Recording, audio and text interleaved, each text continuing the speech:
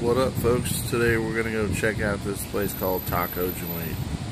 So I'm gonna bring you in and I'm gonna show you what they got in here. One of my favorite items.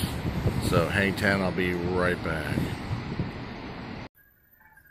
All right, we put our order in and we're just waiting on it. So I love this mural.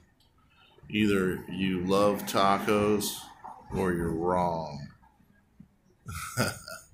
I agree with this 100%. And if you don't, then you and I can't talk.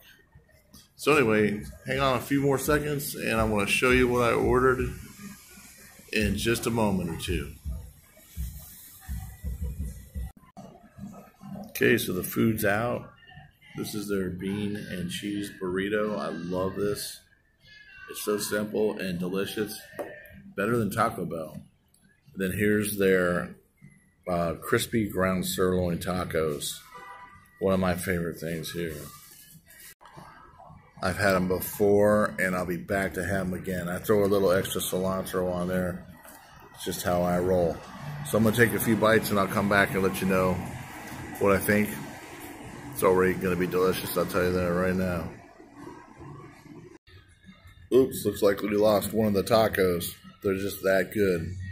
There's your bean burrito. I would encourage you to definitely come try the food here. I'm at the one on Preston, but they have um, many locations around the Dallas Plano area. So there's my review.